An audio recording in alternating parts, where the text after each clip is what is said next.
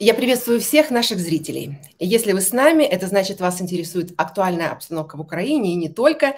И обсуждать ее сегодня мы будем с моим гостем Александром Коваленко, военно-политическим обозревателем группы «Информационное сопротивление». Александр, э, давайте начнем с сегодняшнего парадобесия. По вашему мнению, почему э, лидеры э, стран Центральной Азии все же решились приехать 9 мая в Москву? На мой взгляд, у каждого для этого есть своя причина определенная. Если мы говорим о президенте Кыргызстана, то здесь а, вопрос рисков для самого Кыргызстана со стороны Таджикистана, поскольку у них есть проблемы с границей, приграничные нерешенные вопросы, которые периодически перерастают в локальные конфликты. И Россия условно говоря, выступает гарантом стабильности в этом регионе, э, не позволяющим, чтобы э, очередной приграничный конфликт перерос э, из локального какого-то в более масштабное противостояние, в полномасштабную войну между Таджикистаном и Кыргызстаном. Это, конечно же, эфемерные надежды, но, по крайней мере, в сегодняшних реалиях Кыргызстан, например, должен так или иначе, но это учитывать. В целом же, даже если э, э, все страны перечислить, да, то, тот же самый Казахстан, Узбекистан, э, ну и Кыргызстан и Таджикистан, их э, объединяет в связях с Россией еще э, одна очень важная вещь, а именно контрабанда. Контрабанда э, запчастями, оборудованием, Э, иностранного происхождения, иностранного производства, которые из-за санкций а, в Россию ну просто так теперь уже напрямую не попадают. А, в том числе эта контрабанда используется и в военной промышленности Российской Федерации непосредственно при а, строительстве ракет, производстве ракет. Поэтому интересов много. За контрабанду, соответственно, контрабанду нужно обеспечивать, э, отвечать э, Э, за поставки необходимые, необходимые номенклатуры, опять-таки определенные, определенную лояльность Россия пытается купить у этих стран для того, чтобы эта контрабанда и продолжалась далее. То есть в целом есть множество причин, по которым представители этих стран были ну, на нечто том, что называют парадом. Ну, знаете, мне, э, я когда я смотрела на их лица, мне хотелось спросить, моргните два раза, если вас держат в заложниках, потому что лица, конечно, у них были такие очень напряженные в этот момент. Ну, например, э, президент Казахстана, я был удивлен, что он э, там э, появился вообще. Касым Такаев, он в последнее время достаточно так язвительно высказывается и общается с э, Путиным. А, появление его может быть обусловлено, опять-таки, даже не только а, вопросами, а, которые необходимо решать с глазу на глаз, да, но и, конечно же, северные районы Казахстана, которые являются, мягко говоря, так, довольно-таки опасной зоной для разного рода каких-то гибридных мероприятий, которые могут проводить с российской стороны. Это нестабильный регион. Поэтому не исключено, что да, действительно, в какой-то степени моргните два раза, а, имеет а, право жить. А, такое утверждение, поскольку та или иная страна, они находятся в зоне рисков, в зоне рисков гибридного воздействия со стороны России.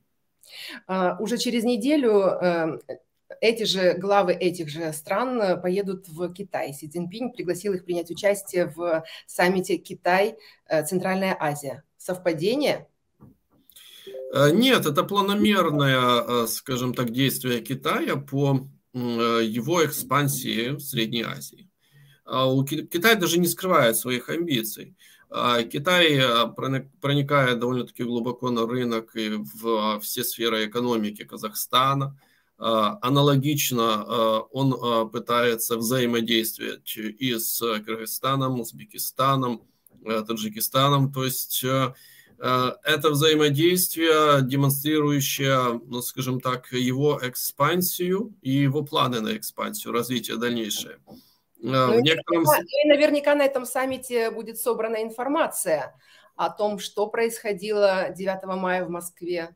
сколько проехало танков по Красной Нет, ну, площади. Это, конечно, публичная информация. Я имею в виду, конечно, разговоры, переговоры за тем же обедом или в кулуарах, или еще как-то. Наверняка они имели какие-то личные беседы с Путиным. А, безусловно, и Си Цзиньпинь просто из первых уст может узнать даже и то, а, в чем особо нуждается Путин сейчас, хотя это и так очевидно. Но, безусловно, у Путина могли быть определенные какие-то запросы к представителям этих стран, и об этих запросах может быть поставлен в курс дела и Пекин. Из этого он будет уже свою стратегию относительно России выстраивать. Эта информация действительно важна. Ведь э, Китай сейчас, он не только демонстрирует э, движение в азиатском регионе, в Средней Азии, а он еще очень ярко сейчас демонстрирует э, свои амбиции на вассализацию самой Российской Федерации. Вассализацию экономическую, финансовую, ресурсную – технологическую вассализацию и так далее, вплоть до даже политической. Давайте опять вернемся к этому а, парадобесию и к речи Путина. Не хочу разбирать ее а, по цитатам. Это лапша для внутреннего меню? Безусловно. Практически все, что сейчас публично делается официальными лицами в России, это для внутреннего потребителя – а, на Западе уже не воспринимают а, Путина как, а, ну, скажем так, как серьезного спикера. Опять-таки, человек, который даже до гибридного вторжения в Украину в 2014 году и полномасштабного в 2022 никогда не держал своего слова, всегда практически врал, нагло врал, хотя его за это не так сильно критиковали то сейчас попросту его слова не воспринимают э, на веру, абсолютно. Э, и это хорошо, что так происходит. А практически каждая угроза, каждое обвинение, исходящее от Путина или его клики, то, безусловно, это исключительно для потребителей информационного фастфуда самой Российской Федерации. Ну, хотя есть еще определенная прослойка в других странах, которые испытывают пророссийские взгляды, настроения, чаяния. А для них это тоже э, в какой-то степени пища для услада для ушей. А так, в принципе, исключительно внутренний потребитель не больше. Военный парад.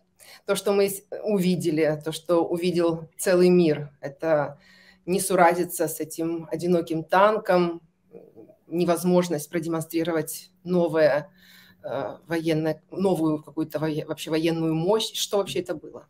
Э, в действительности, да, очень э, странный ход такой с танком Т-34. Почему? Потому что ну, а, абсолютно все танки не уничтожены российские. У них есть в наличии. И для а, Красной площади вполне бы могли выделить хотя бы роту тех же самых Т-90 чтобы они так смотрелись солидно, или хотя бы роту Т-80 БВМ э, по образцу модернизации 22 года, которые тоже более-менее смотрелись так приемлемо. Но решили выкатить Т-34. Э, странный ход. Э, скорее, это больше эмоционально-психологический элемент воздействия для внутреннего потребителя, навязывания вот этого карго-культа – Второй мировой войны, или как они ее называют, Великая Отечественная. И э, через этот карго-культ э, попытались и привлечь внимание, например, отсутствие танков. Да, один танк. Какой танк? Советский танк. Танк победы, скажем так. И вот этот, с этим символизмом они выкатили на Красную площадь. Потому что действительно, ну, даже в Екатеринбурге были танки Т-90, например. Т-90А и Т-90С. Это очень интересный, кстати, такой момент. Почему? Потому что Т-90А – это именно те танки, которые первые выводились на хранение в 2010-х годах, а потом, когда э, их стали выводить э, с хранения э, и модернизировать, они превратились в Т-90М прорыв. То есть практически все Т-90М прорыв – это не абсолютно новые танки, а это модернизированные Т-90А. А, то есть один Т-90А просто не доехал до модернизации. Просто, просто консервы, можно сказать. А, ну, а, скажем так, один Т-90А просто не доехал до модернизации. А Т-90С – это танки, а, которые шли на экспорт, например, в Индию. То есть интересная картина. Один не доехал на модернизацию, его отправили на парад, другой не доехал до заказчика. Его не продали и отправили тоже на парад. Такое символично. Но мы не увидели не только танков, но и авиации. А, боятся. Действительно боятся, что что-то может э, произойти в небе над Москвой. А, эта компонента, авиационная компонента, именно по этой причине и была закрыта. То есть эм, на сегодняшний день, э, даже я скажу так, если э, и не брать во внимание угрозу воздушного пространства над Москвой процессе парада, а, угрозу ракетную или угрозу дроновую, то есть другая угроза достаточно серьезная.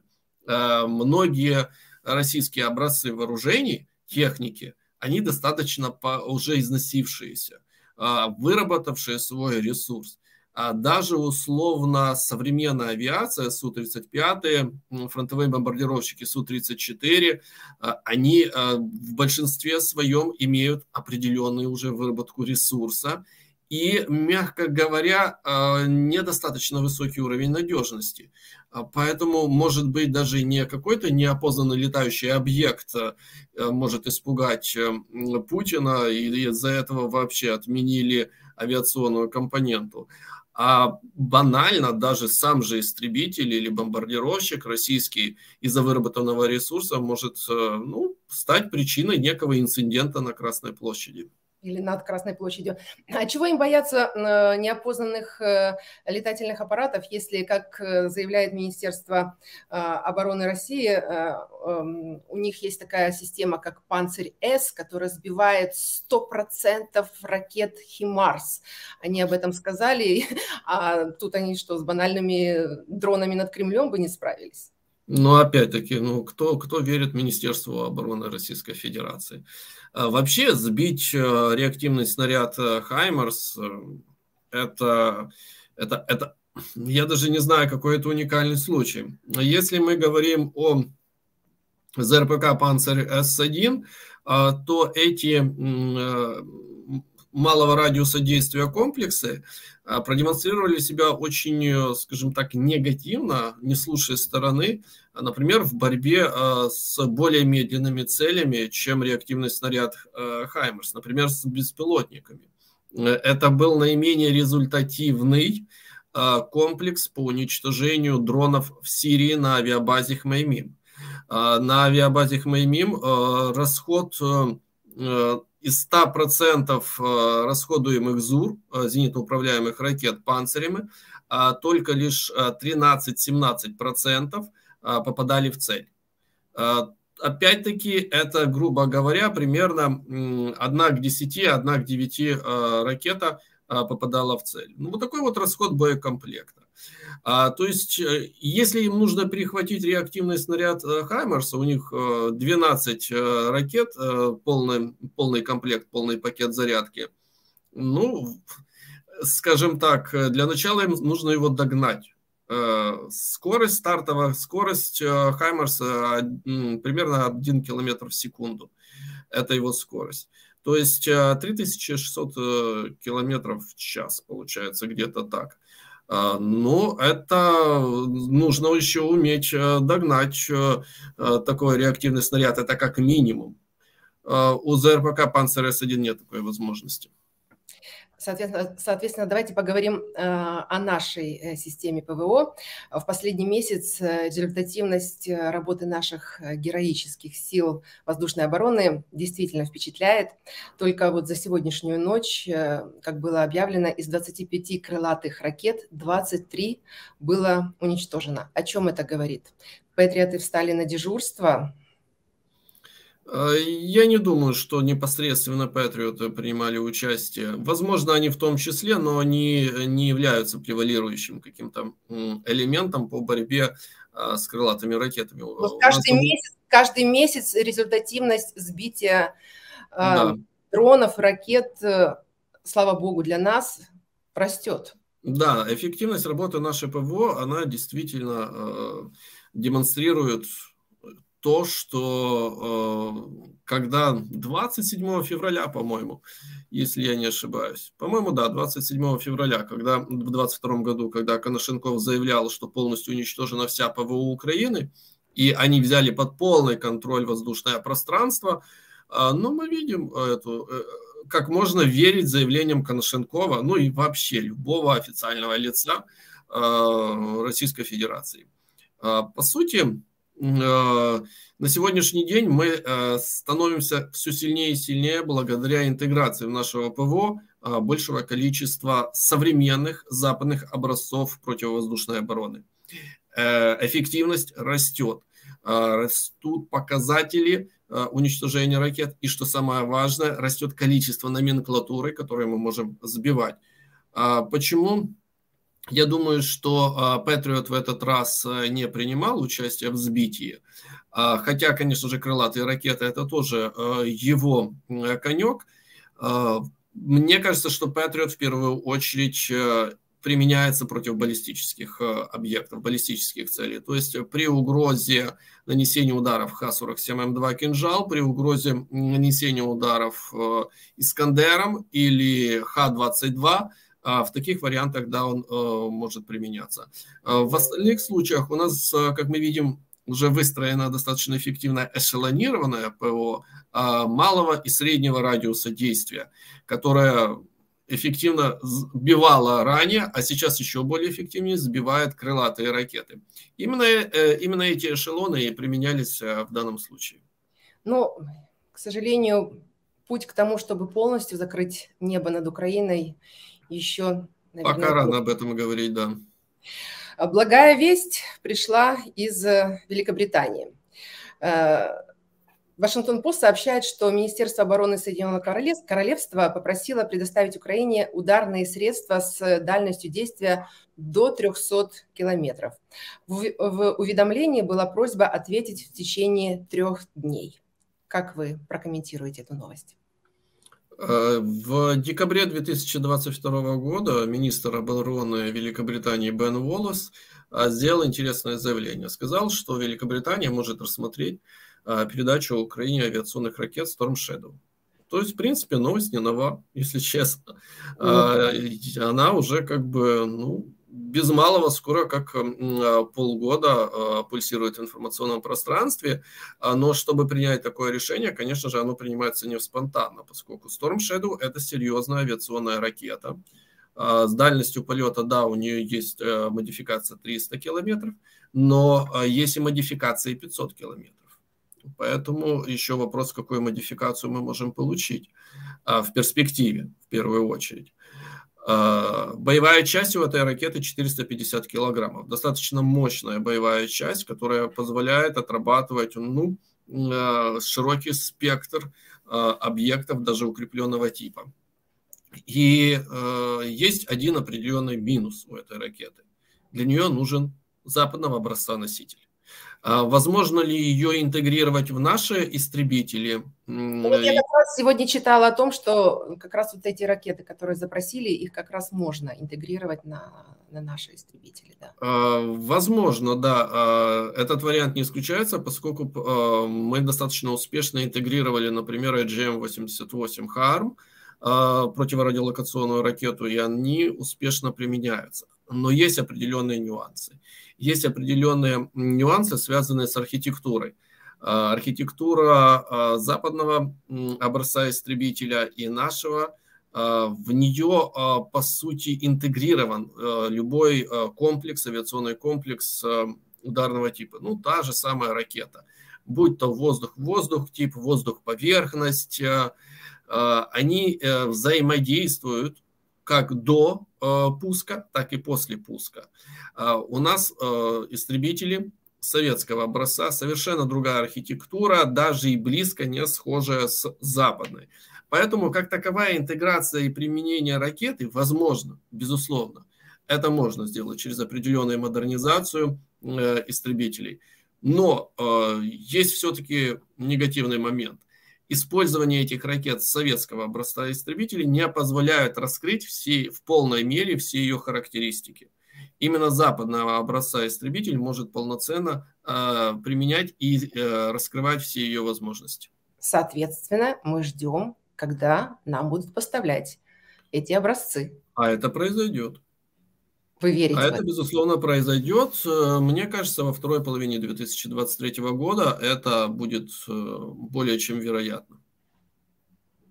Что вас так уверяет в этом? Почему, а почему не раньше? Почему нам до сих пор их э, не дали? Ну, хотя бы, например, сроки подготовки пилота. Срок подготовки пилота 4-6 месяцев. То есть до полугода, от 4 до 6. А, так и рассчитываем. В принципе, я не исключаю, что этот процесс уже идет. Вполне возможно. Можно делать такие предположения. А, или даже если э, пилоты поступят в мае, или в июне на подготовку, то, принципе, а, как раз вторая половина 2023, это где-то а, ноябрь, декабрь, у нас может появиться первый истребитель западного образца, может быть, даже и не совсем истребитель, в первую очередь. Может быть, но именно западный. А что? Интрига. Ну, нечто очень похожее на истребитель западного производства – но опять-таки не полноценный боевой самолет, как мы привыкли воспринимать. Ну что, ребята, сейчас я вам покажу, с чем надо пить чай. Вот смотрите, что у меня есть. У меня в руках птичье молоко, гордон в шоколаде. Это вкуснейшее птичье молоко, ничего лучше в своей жизни я не ел. И вот у меня в руках зефир гордон. Поверьте мне, ничего лучше в своей жизни я не ел, и это правда. Вот посмотрите, они у меня на тарелочке. Вот они, птичье молоко и зефир. Вот такая красота. Теперь смотрите, что у меня есть. У меня есть чашечка. Обычная вроде чашечка. Вот я ее ставлю. Беру чайничек и наливаю в чашечку. А теперь будем смотреть, что будет происходить с этой чашечкой. Я наливаю кипяток. Наливаю, наливаю, наливаю. Смотрите, что же с ней будет происходить. Ой-ой-ой, что с ней уже происходит, посмотрите. Вот она, чашечка. Кто-то там проявляется. Мне кажется, это я. Отлично, уже проявился. И теперь смотрите. Вот конфеточки. Ну. Не, ну это бомба. И вот зефирчик.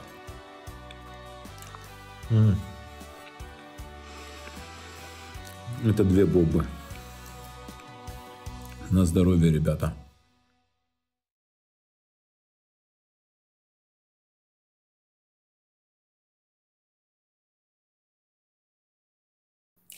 Давайте э, поговорим еще об одной новости сегодняшнего дня. Продолжается водевиль Пригожина в Бахмуте.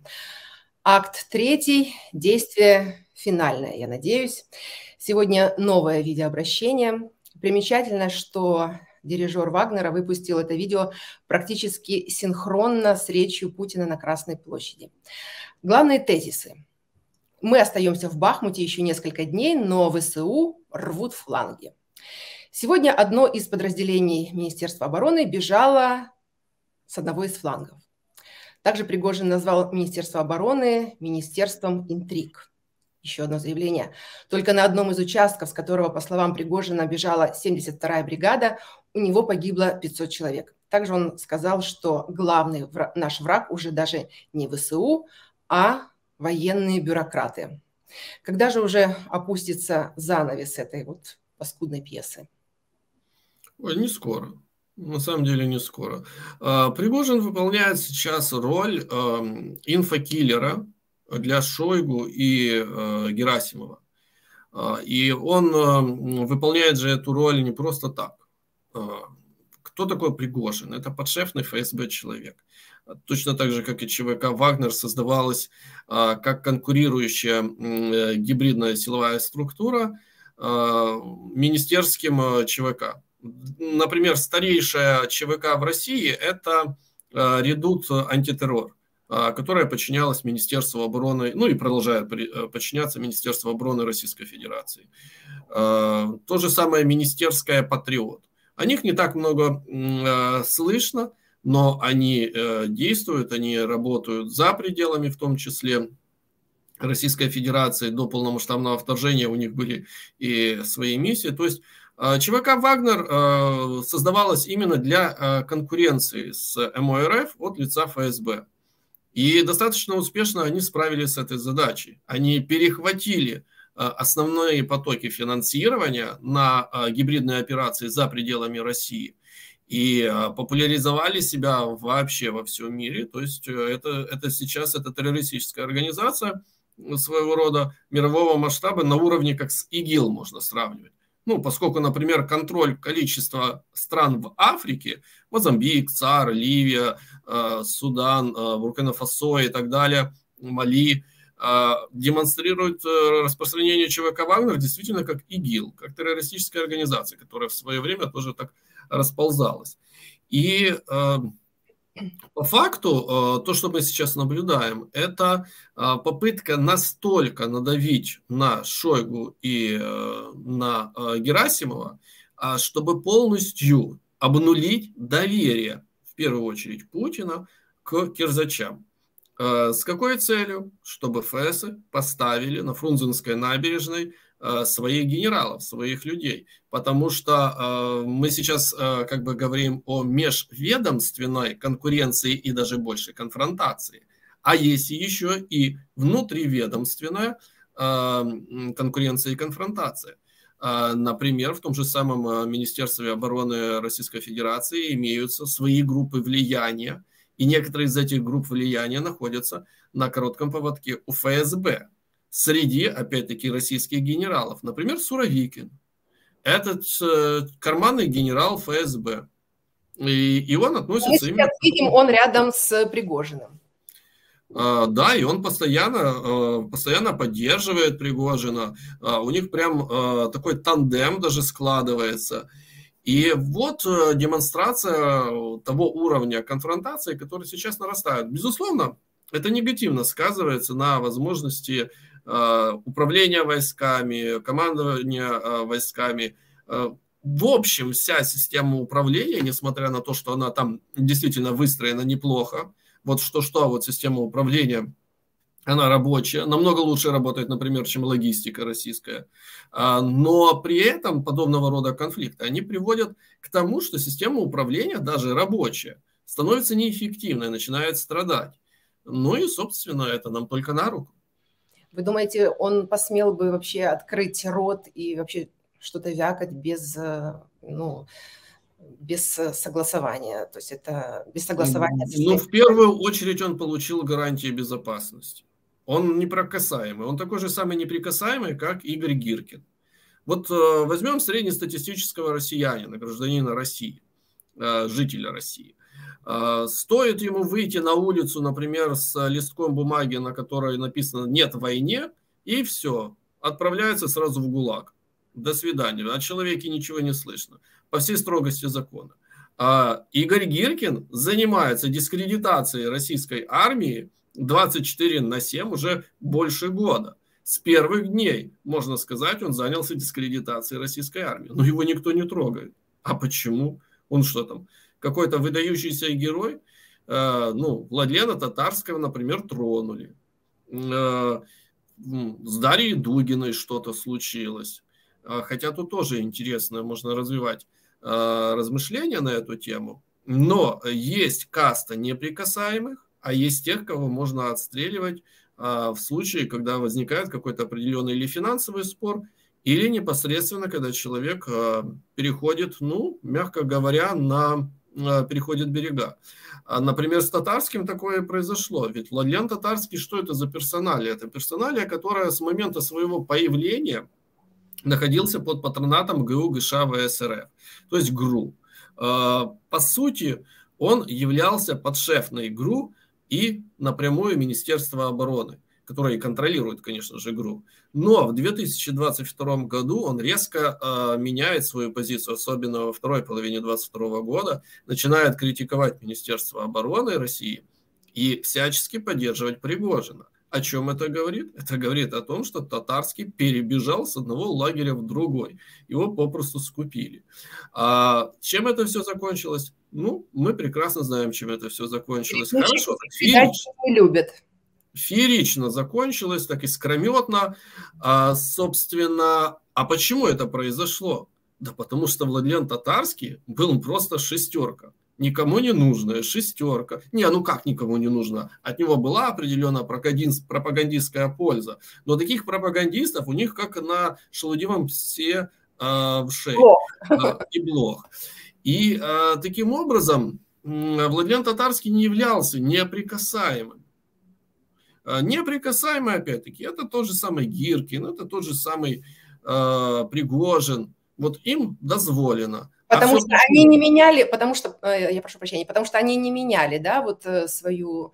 Э, свою... Нет, Гиркин тоже перебежчик. Нет, Гиркин перебежчик. Он тоже перебежчик. Он изначально, ну то там вообще очень интересная история. Он э, изначально был министерский грушник, э, но э, именно начиная с 2014 года начинается его дрейф ФСБ. Э, по сути, Пригожин и Гиркин, тут очень интересный момент. Э, они оба подшефные ФСБ, Лубянки. И э, у Гиркина э, просто свой, своя группа влияния, которая его курирует, которая ему дает покровительство. У Пригожина более влиятельная своя, но, тем не менее, они занимаются, во-первых, одним и тем же, но это не мешает им между собой собачиться, в свою очередь. А, и от степени важности и имеется вот эта вот неприкасаемость. Вот они важны сейчас, они и такими являются. Как неприкасаемость вообще обеспечивается? А, прекрасно знают в Министерстве обороны а, России, что практически на каждого генерала, а, и не только генерала, а практически на всех, кого только можно, у ФСБ есть полная база данных на каждого есть своя такая толстая-толстая пачечка документов, папка такая, папище. И а, в случае, а, например, каких-либо действий со стороны МОРФ, которые нарушают вот эти установленные рамки по неприкасаемости, Сразу достается листочек. Она открывается, да, эта папка открывается и начинается просто безграничный поток интересной информации сливаться в открытые э, источники через, например, псевдотипа оппозиционные либеральные ресурсы э, в России, которые занимаются подобного рода, вот, например, какими-то уникальными расследованиями. Ну и происходят вот такие вот скандальные ситуации.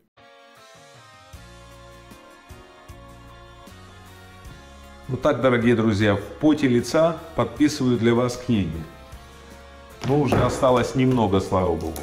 На сегодня немного.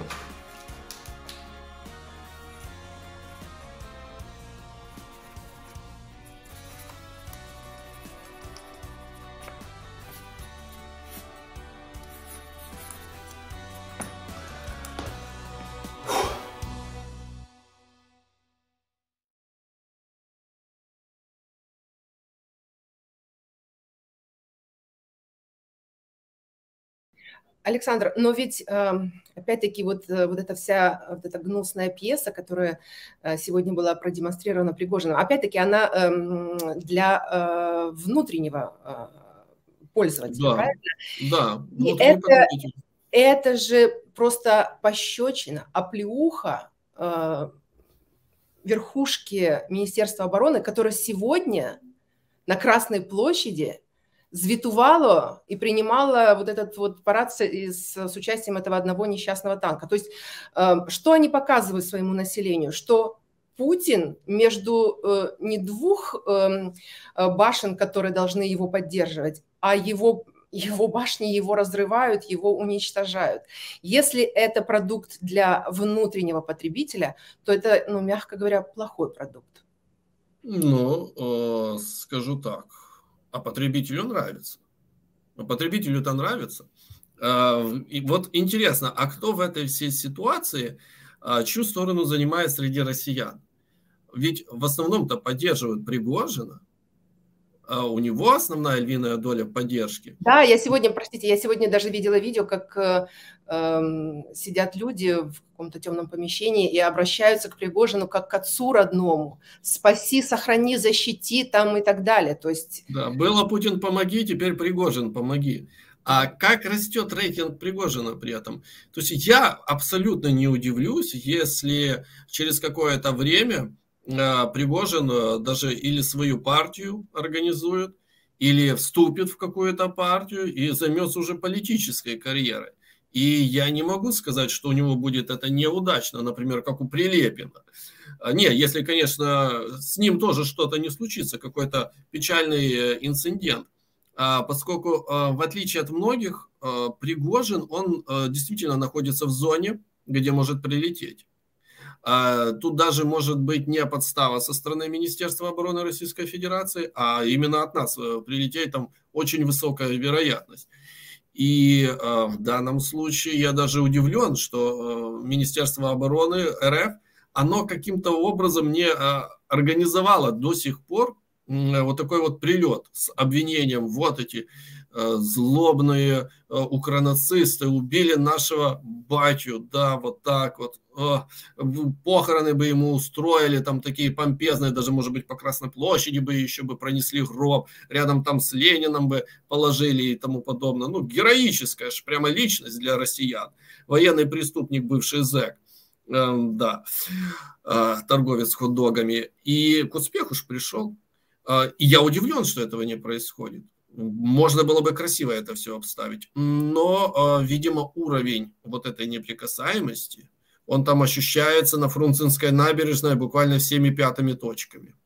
Можно ли тогда говорить о том, что э, Путин уже не влияет на вот э, эти турбулентные процессы, которые сейчас происходят?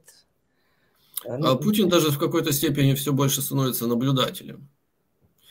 И я не исключаю даже того, что он, должен, он даже может в какой-то момент уйти в глубокую депрессию.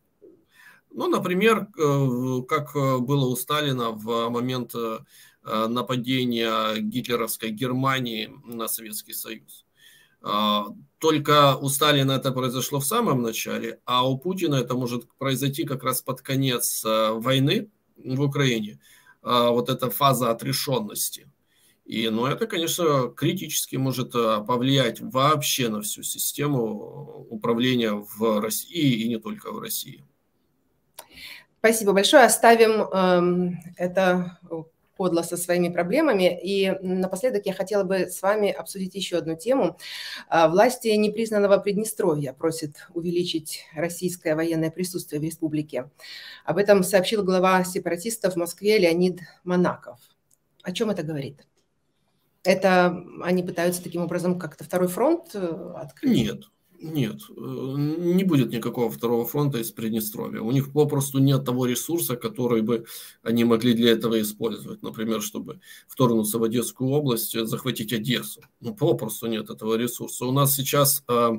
Вот мы очень часто, например, когда там поднимался вопрос с Беларусью, очень часто мне приходилось как бы тоже успокаивать, там, не, не идет формирование ударной группировки, какая должна быть ударная группировка, какое количество должно быть, чтобы была реальная угроза. Вот.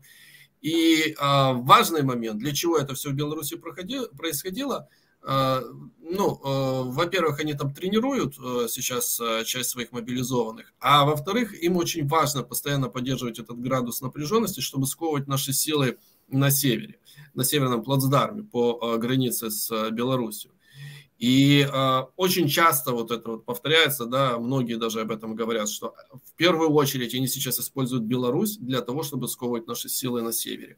Но помимо северного плацдарма есть и другие, где сковывается не меньший наш ресурс. Например, это э, северо-восточный сектор – это Харьковская область, это Сумская область, это граница с Российской Федерацией. Там сковывается тоже серьезный наш ресурс, который мы не можем перераспределить и который контролирует ситуацию вдоль границы. Аналогичная э, ситуация в Одесской области, э, юго-западный сектор. Э, там сковывается тоже серьезный наш потенциал, который сосредоточен для того, чтобы предотвратить любые угрозы со стороны Приднестровья. И э, те силы, которые есть э, у россиян и незаконные вооруженные формирования, так называемые ПМР, их недостаточно, чтобы предоставлять угрозу, э, представлять угрозу для Одессы и Одесской области. А вот для кого? Да, для Молдовы. По, поскольку армия Молдовы, она, мягко говоря, не боеспособная абсолютно. А даже приднестровские силы а, куда более боеспособные, чем а, молдавские. А, поэтому, вот насколько бы это ни была парадоксальная ситуация, но она такова. И наращивание э, потенциала так называемых миротворцев за счет э, увеличения личного состава, но это не самый лучший звоночек. Э, это угроза не столько для Украины, опять-таки, сколько для самого Приднестровья, в котором постоянно катализуются э, нарративы, о том, что то Украина хочет напасть на Приднестровье, то Молдова готовит нападение на Приднестровье. Это у них такой бесконечный уроборос э, э, таких заявлений. При этом э, эти заявления сейчас еще и подогревают э, аналогичные, исходящие от официальных лиц Российской Федерации. И в Министерстве иностранных дел, так называемом, России э, говорят о таких угрозах, якобы, что Украина готовит нападение на Приднестровье, и что э, в Министерстве обороны Российской Федерации аналогично. То есть они зачем-то это все-таки нагревают, эту э, сковородку. И подобное, например, пополнение личным составом, сложно сказать, как они это организуют. Там, на самом деле, желающих воевать, по правде говоря, среди Приднест... жителей Приднестровья не так уж и много – но если они предложат подписывать контракт с российской армией, носителем э, российских паспортов, а там у многих российские паспорта есть, и не только российские, там есть у одного и того же человека и молдавский паспорт, румынский, российский, украинский, э, немецкий даже и так далее, болгарский. Они же между собой даже там соревнуются, у кого больше паспортов, то есть такие уникальные люди. А у кого-то, конечно же, еще и советский паспорт, помимо всего Нет, прочего. А, а переброску э, Нет, переброску, не а, это очень сложный процесс, а, транзитный процесс, то есть транзитом через Турцию, например, заезжать через Европейский Союз, там одну из стран, и через Турцию, из Турции, например, в Баларию или в Румынию, а, оттуда а, сухопутными путями в Молдову, через Молдову уже в само Приднестровье, потому что там сейчас Э, ограниченное даже авиасообщение. А в принципе, э, тут расчет исключительно только на местное население, которым будут давать возможность, например, подписывать контракт с армией России. А это уже, в принципе, в среднем 240 тысяч э, рублей в месяц. Это для среднестатистического жителя Приднестровья очень большие деньги. И вот именно на это они могут повестись, именно на финансовую составляющую. Вы упомянули Беларусь, и я вспомнила Лукашенко на сегодняшнем мероприятии. Обнять и плакать. Что с ним? Это, опять-таки, это игра э, в больного или действительно Лукашенко все? Ну, я не уверен, что э, пока еще все э, лавирует. Дед Вильнуть пытается. Да, ведь э, он же э, Э, на протяжении всего 2022 года испытывал серьезное давление со стороны России относительно предоставления белорусской армии для э, ведения войны против Украины. И тем не менее, он армию свою не передал под э, руководство российских генералов. Все-таки увиливать смог. Поэтому я не исключаю, что могут быть совершенно разные варианты. Ну, потому что он, конечно, тиран и преступник, заслуживающий наказания по всей строгости, но он еще при этом и хитрец. То есть выплывет? Я думаю, что да. Как бы, конечно, не было бы обидно а, слышать белорусской оппозиции а, о том, что у Лукашенко есть шанс а, выплыть, а, увы, но это так. Он а, даже после того, как закончится война, и рухнет путинский режим, даже после этого, э, к сожалению, я так вижу, у Лукашенко есть шанс оставаться, э, скажем так, при власти в Беларуси.